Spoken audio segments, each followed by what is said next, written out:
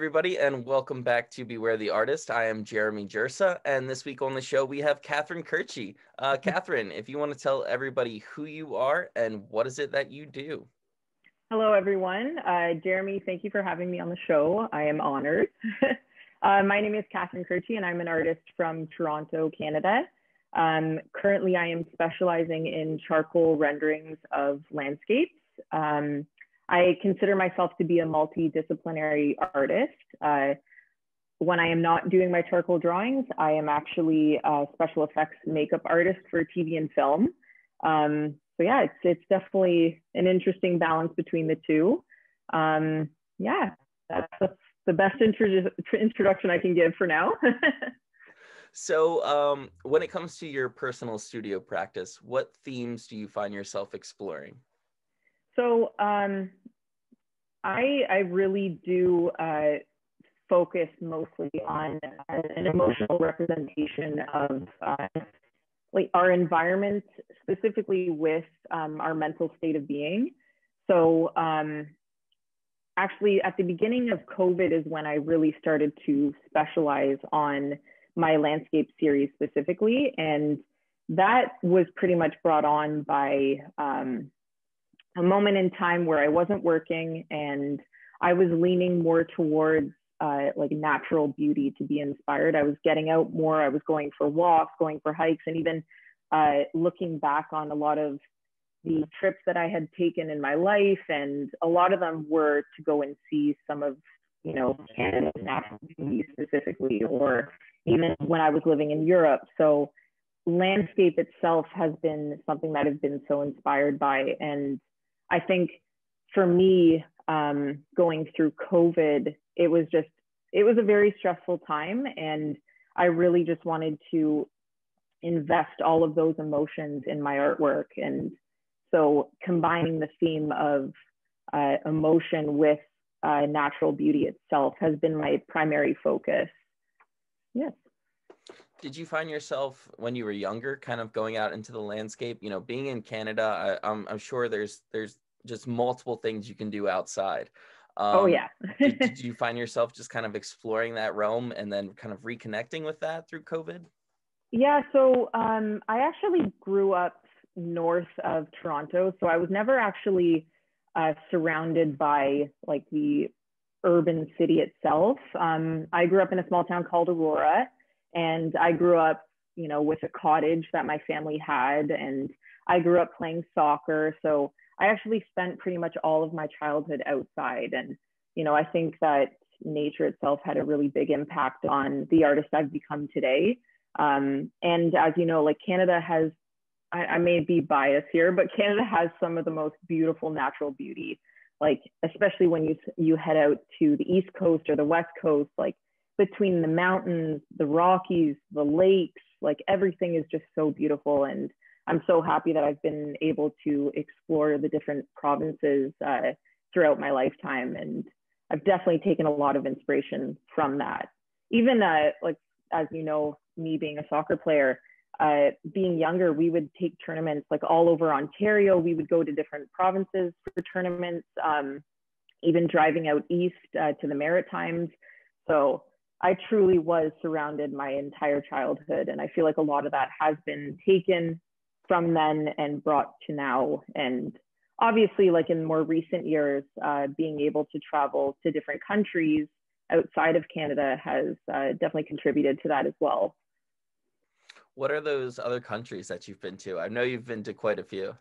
Yeah, so uh, I mean, besides the states, uh, obviously um, been to a few places in the states, and I, I think for me, um, I haven't explored enough of I would say the coastlines, which does have a lot of beautiful locations. But I have been to California a few times and then to New York and down south to Myrtle Beach. So I, I feel like I have a lot more exploring to do in the States specifically. But um, when I was in Florence, I spent as much time as I could spending weekends like outside of Italy, going to different countries in Europe. So that that was an amazing opportunity. I'm sure you know as well because you did study abroad, but uh, that was a really great opportunity to go and explore uh, different areas. And even Italy alone, oh my gosh, as soon as you go north of the city, uh, sorry, north of Florence, you're getting beautiful, beautiful landscapes, especially along the coast, all the way down to the south. So,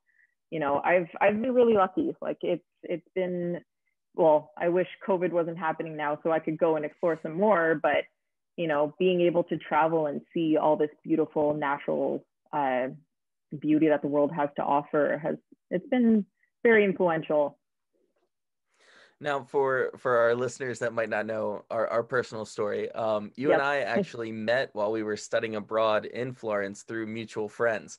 Um, can you speak to maybe how that experience might have changed your trajectory in in art in general?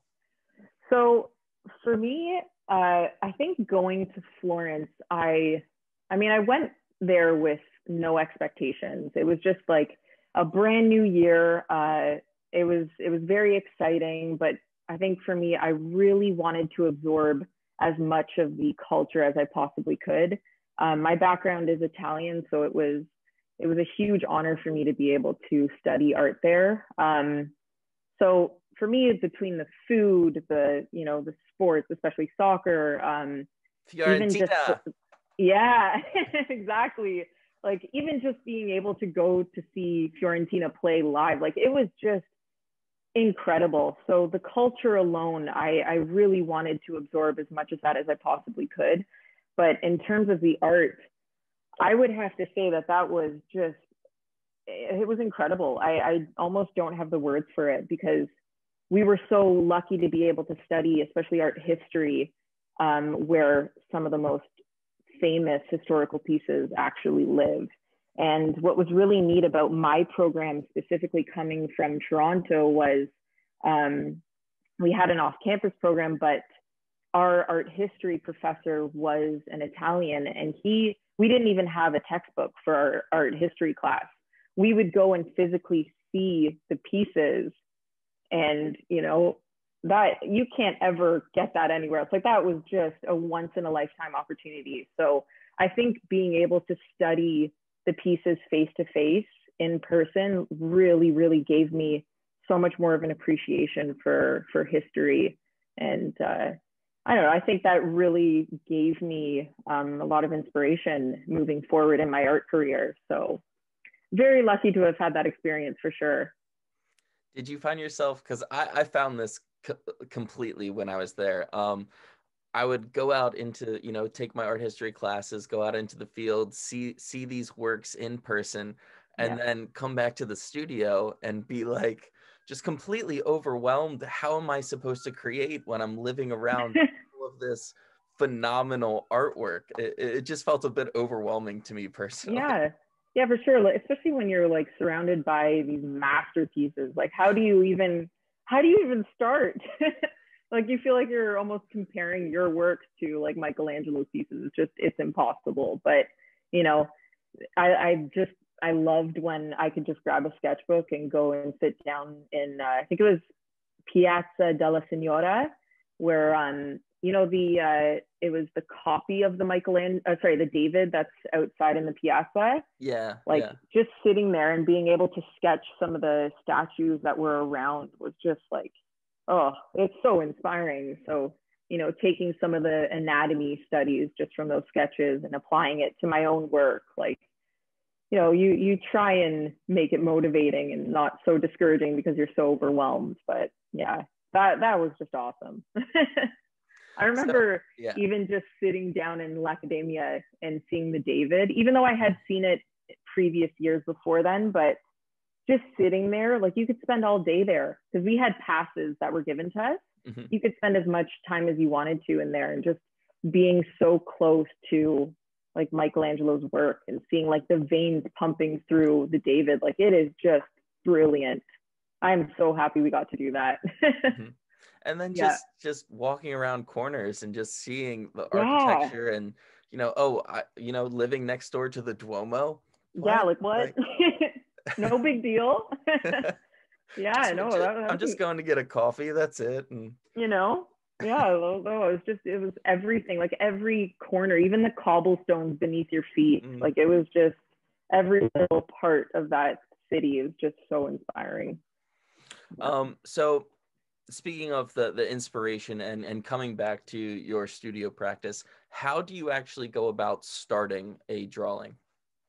Okay, so um, the first thing I do obviously is finding the proper reference photo to work from. Um, and then for me, materials are so important to my work. Um, I always get a fresh piece of paper and I use one specific type of paper and it's uh, Arches cold press watercolor paper. Um, and I always mask the edges. So I create a border around my piece because I love when a finished piece has a nice clean border. It's just a weird obsession that I have, but it's something that I always do. And uh, then I begin applying the charcoal and it's just take off from there. But that is, uh, for me, materials are everything. It's like a chef finding the best ingredients, like having a beautiful textured piece of paper is just the perfect start to my art piece. do you have a process for actually choosing the the photo references?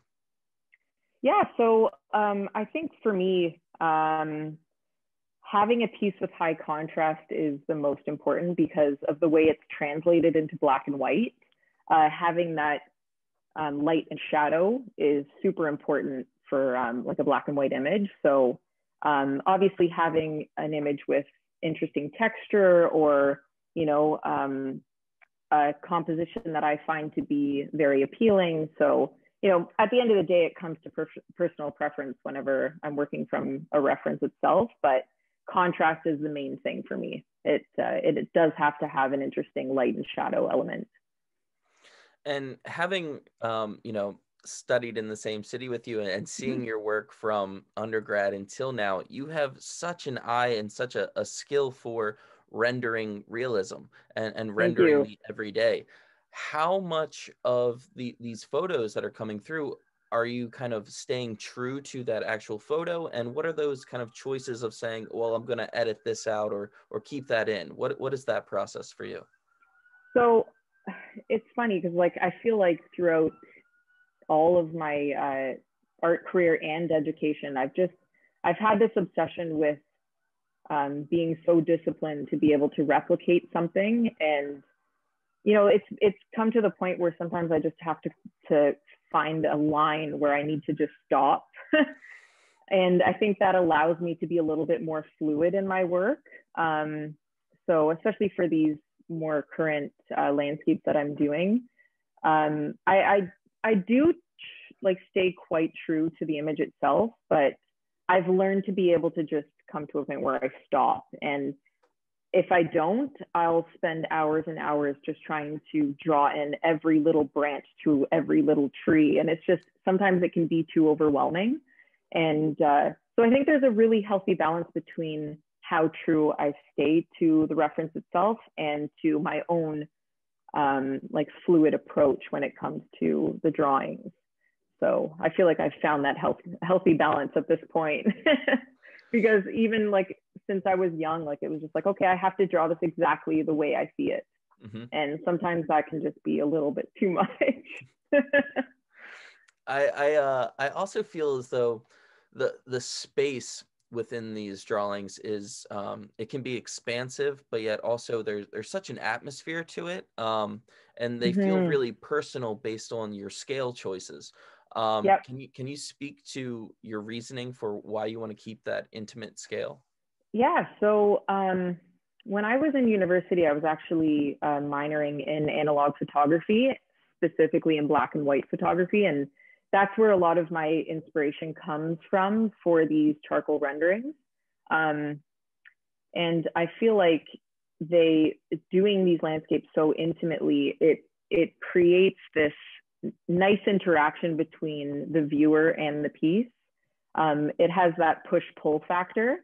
So, um, from what I've heard from feedback from galleries, is that uh, like a lot of people, they they first assume that it is a photograph, but because they are of a smaller scale, it draws the attention towards the piece at a closer view.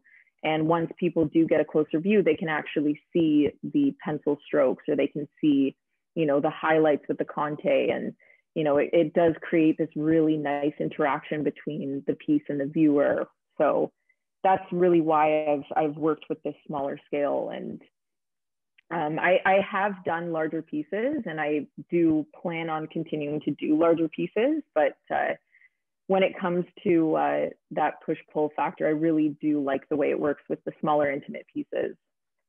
Would you say that you you kind of like that bit of deceit in the uh, oh it's a photograph, but kind of bring them in? Oh, of course, of course. I, I do like that. I, I, find it to be really interesting to hear what, uh, like how people react when they do see the pieces. Like it's, it's really interesting because obviously everyone has a different opinion and a different point of view. But, you know, when I get someone to, when I get like that ability to be able to pull them in, it's, it's, it's really cool. I, I get a sense of accomplishment for that, for, or from that for sure and um, the the choice to go monochromatic. Um, what what is your reasoning for that?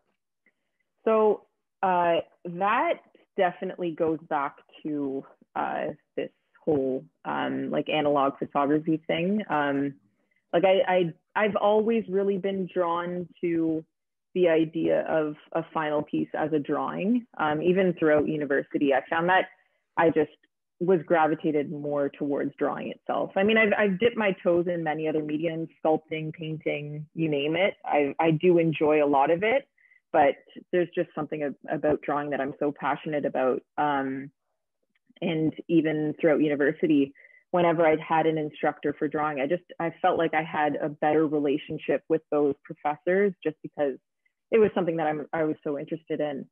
Um, but yeah, when it comes down to my more more recent pieces, it's just I feel like I've taken so much inspiration from black and white film and uh, just trying to be able to translate the characteristics of film into my pieces. I feel like it's uh, it's been an interesting journey for sure, but that's that's definitely where a lot of the uh, inspiration comes from, and even just the idea of removing the element of color and having other elements surface because of that. So, you know, creating texture and creating uh, dimension through light and shadow. It's just, it's, uh, it's very fascinating to me. Now, who would you say are, or who would you consider to be some of your greatest influences on your studio practice? Am I allowed to say my mom? yeah, totally. yeah, so I that may be cliche to say, but uh, my mom has been my biggest support system all throughout my career. So she's an artist herself, and uh, she actually was accepted to my university back in 1981. Uh, she was accepted into OCA, so it was the Ontario College of Art at the time. And she actually still has her original acceptance letter, which was typed out by a typewriter. It's just the coolest thing but she never she never got to pursue a career in art. So she wasn't able to go to school and you know she was living on her own by the time she was 18 and whenever or sorry the moment she was able to notice and recognize my talent and my interest towards art she kind of just guided me all through it. So even from when i was in elementary school she really encouraged me to go to a fine art high school. And then from there, it kind of just paved the path throughout the rest of my education and my career. And uh, she is just incredible. She's so supportive and uh, very inspiring too. And the coolest part is that her and I actually ended up going to university together. So she had reapplied to OCAD by the time she was 50 and she was accepted into the fine arts program. That's and, uh, wild. Uh, yeah, yeah, it's amazing. And when I actually when I was studying in Florence, I got a call from her saying that she had been accepted into the program. So when I got back from my third year, starting my fourth year, she was in her first year. So we had one year of school together and it was just amazing. that's that's such an experience. Yeah, yeah. So, you know, it's just it's it's amazing. I, I I love how far she's come, and I love how she's been able to finally pursue this dream of hers. And mm-hmm. she's so talented. It's it's just really unbelievable, and I'm I'm so yeah. happy to have her. Yeah. did she end up uh, finishing her degree? She did. Yeah, she graduated in 2017, and uh, she was featured in the grad exhibition as well as uh, numerous exhibitions to follow after graduating. Uh, her work is very interesting. She does a lot of engraving and she uh, co- combines literature with uh, with fine art, and she's just brilliant, so inspiring. That's that that's amazing. I, I yeah. Love, um, you know, not many not many kids can say that they've went to their parents' graduation. Yeah, exactly. in a really cool kind of cyclical way. Um, yeah. And, and, to share that that same experience, that has to be so rewarding. Um, you you oh, both oh, went through the trenches together, you know. Yeah. Um, yeah. And speaking of uh, Toronto and Ontario, um, as someone who's never been to Canada, um, can you speak to what the art scene is like up there? Yeah, the the art scene in Toronto is awesome. I I must say. Um, you know, it's there's uh, quite a few pockets throughout the city in Toronto that uh, have like gallery after gallery, and it's it's so nice. Like you could spend a day just gallery hopping, and also Toronto has a handful of uh, like pretty large events that take uh, place throughout the year. We have Art Toronto, which probably is the biggest, and uh, Art Toronto showcases galleries throughout the world, and you know it's it's such an exciting time of year when that does take place. Unfortunately, obviously with COVID, these things have come to a halt. But mm-hmm. no, the the art scene in Toronto it's it's very diverse, and I find that it's it's very accepting of like all kinds of different uh, types of artwork and you know you could spend so much time just exploring the city a city and seeing it all and even what i've noticed more recently is uh, the city's been introducing a lot of uh, murals into mm. the architecture and that's really nice to see because it's bringing a lot of color to the city and I, I love seeing that. Like it's toronto's obviously not the biggest city but for for the art scene it, it is pretty amazing. And i definitely recommend you coming up to toronto when you can. Oh it's it's on my list. It's definitely oh you better. Yeah. A, a, couple of years ago i actually um i went to a, a friend's wedding in in buffalo and so okay, I, I, I, went up to Niagara Falls and I'm like, you know what? I'm just going to go and, you know, maybe walk across the border. And then I realized to myself, I didn't bring my passport. So there was oh. no way to actually kind of do that. Oh no, so close, Jeremy. so close. It literally yeah. a stone throws away. oh, okay. Um, but as soon as you can, let me know. Oh, I totally will. I totally will. Yeah. I'll bring I'll bring yeah. Schuyler with me yes, bring him back to Toronto. um, so you, you spoke to it a little bit before, but you also work in special special effects makeup. Um, can yeah. You, can you speak to speak to that? Sure. Um, so after graduating from university, uh, it kind of came to a point in my life where I was like, oh man, did I just go to school all those years for nothing? Like I really felt defeated you know, as you probably know, um, like trying to pursue a career in fine arts, it's challenging. It's very competitive, and you know, it's really easy to become discouraged. And uh, like, because art itself is such an extension of our emotions, and very easy to be discouraged. So, you know, I spent a lot of time after graduating in 2014 trying to figure out the right path for me.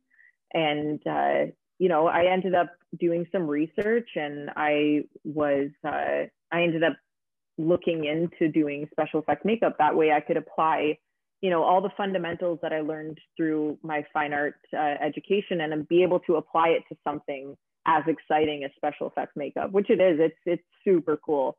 What a, what a fascinating industry it is. But um, yeah, so anyways, I ended up going to school in Toronto in 2017 for a year program and uh, that's where I was introduced to the basics of makeup all the way up to prosthetics and you know it was it was really really exciting. So over the last few years um, that's what I've been doing. And then COVID hit. Why did like COVID ruined everything?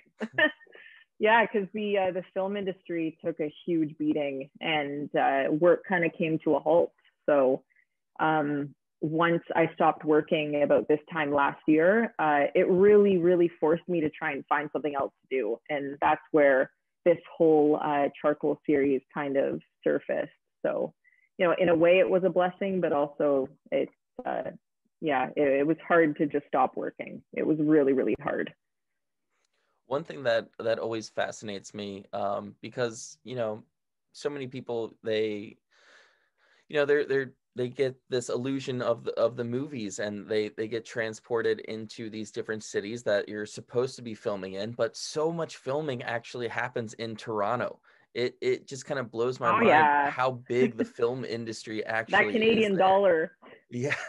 Yeah yeah no it's it's incredible and that was that was a big part of why i wanted to get into it was because of how massive the film industry is here. There's so many opportunities and even uh, with netflix doing filming here as well like it's just it's amazing like the canadian dollar really is it's it's great it has been very beneficial so uh, yeah, it's really exciting to see. Like they do a lot of New York scenes here, like a lot of Chicago scenes, like you know, trying to make it look like these massive cities in the state. So Toronto has it all. yeah. um. So I I want to go back to Florence a little bit. Yeah. Um, and I just want to ask kind of what is one memory from living in Florence? Um, kind of, you know, you experienced all this art, but outside of art, what is just one memory from Florence that just kind of lives in your head rent free? Uh, you know, when I read the question, I was like, oh, there are so many memories. How can I possibly pinpoint one?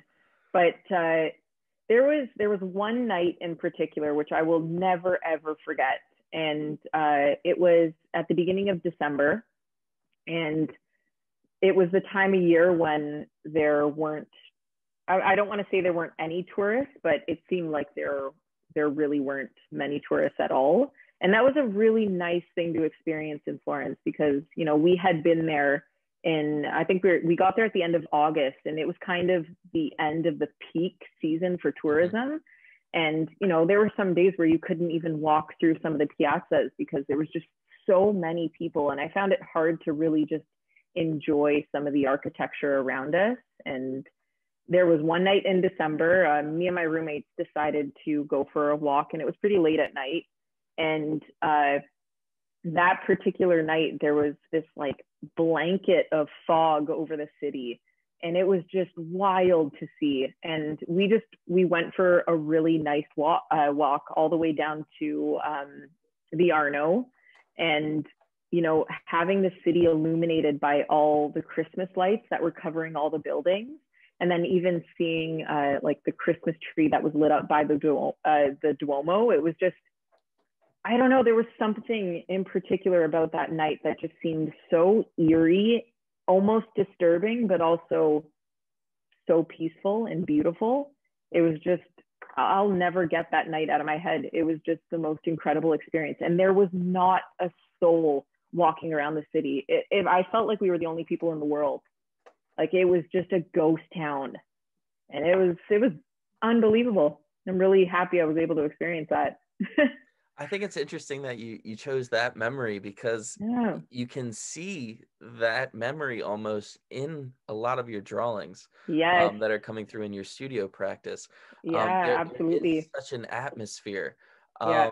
and and you spoke a little bit to kind of the the the the provoking of, of psychological space and and kind of mm. um, these spaces within within the almost metaphor of the landscape can, can you expand on that a little bit yeah so I, I i think for me like you know it's it draws a lot on the preservation of land itself and how you know it's just there's such an emotional co- connection to the world that we have. And you know when i do these these drawings i feel like between the clouds and the water and the reflection like it really does stir up all of these emotions. It's almost there's almost like a, a balance between a negative and positive and i feel like that says a lot not just of me as an artist but also about you know the world's mental state of being like it's you know it, it, there's this constant contrast between good and bad and you know, even touching base on mental illness itself. Like it's, mm-hmm.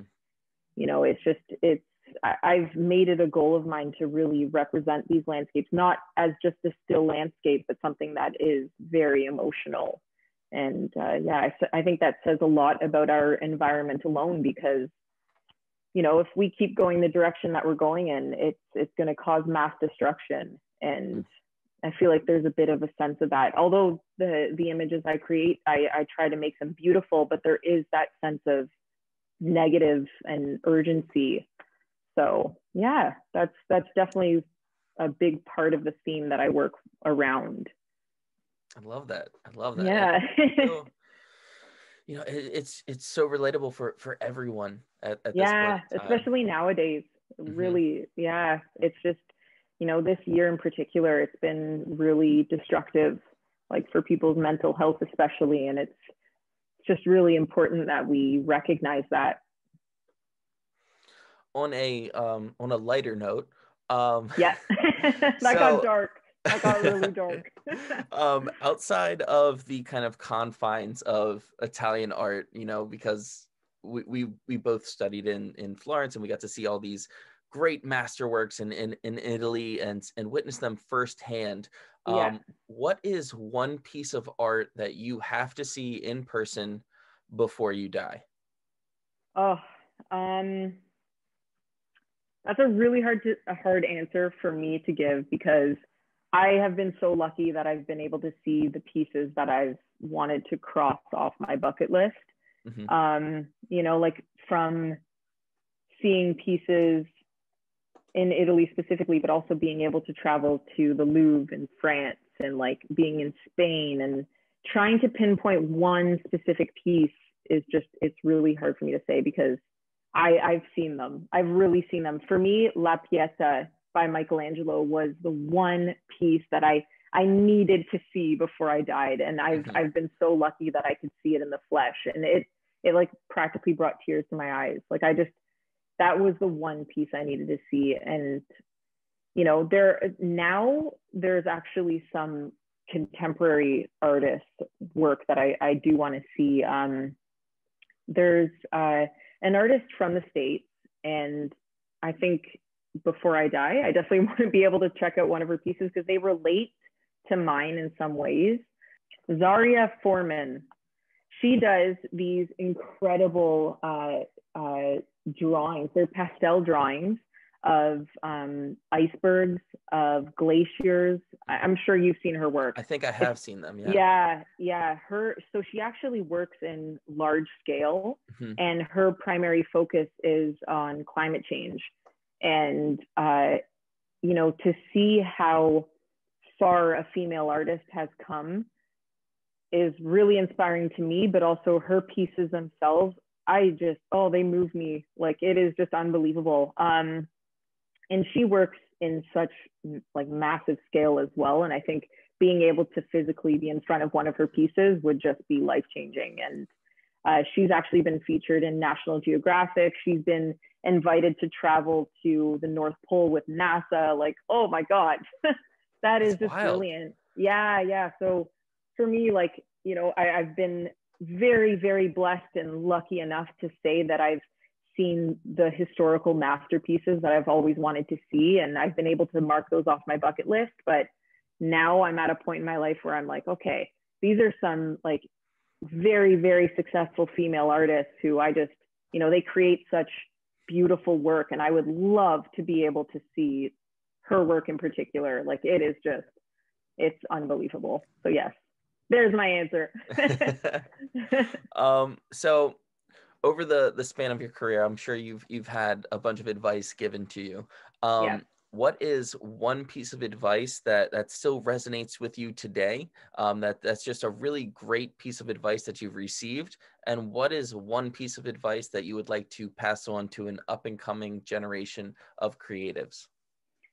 Uh, so for me personally, I think the this might sound smaller than you expect, but for me, it's material. So I, I, I think in the last year, I've been told by somebody who said, you know what, if you put the money and attention into your good quality materials, it'll translate your pieces and it'll, you know, make the world difference. And for me, that was actually such a huge, you know, crossroad. Like I, I needed to just invest more time and more money into something that would be so beneficial in the end. Mm-hmm. And I know that, you know, it, it, may not seem that inspiring, but for me, that was just really something that I, I needed to hear because my God, it makes such a big difference. But uh, in terms of advice that I would give to you know, an up and coming creative from a younger generation, it's, you know, I could say a few things, but really it's just if you're passionate about something, don't let someone try and steer you away from that. Like it's it's so important that you just stick to something that you love and just, you know, take it to the stars. Like you just got to stick with it and keep going because, you know, we kind of live in a world right now where we take so much inspiration from you know, like Instagram, from social media, and it's so easy to get steered away from something that you love and it's so easy to get distracted. And i just feel like it's so important to stay true like true to yourself and just follow through with something that you're passionate about. And even in a time like right now like we we need more creative. We need more artwork. We need more real in the world because there's so much fake. So true. So yeah true. so for someone who's really young and looking for advice just just stay true to yourself. Keep practicing you know stick to your passion. And i think that is kind of the the perfect place to to wrap this up. Um yeah. so uh Katherine if people are looking for your work where might they be able to find it? Perfect. So i do have a personal website for my artwork. It's uh, just katherinecurci.com uh, you can also find me on Instagram. Uh, my handle is katherinecurci.art. And uh, my work is currently being featured at uh, Susan Eley Fine Arts Gallery in Hudson, New York. I have six pieces there, and uh, the show will be on for the next week. Yeah. great, great, Katherine. It was it was amazing catching up, and I loved seeing you. Um, I really enjoyed our conversation. If you guys haven't seen her work yet, make sure you go to her website. Make sure you check it out if you're in New York. And um, thank you all so much for watching and make sure you tune in next week. All right. I thank will see you. you later. Thank you.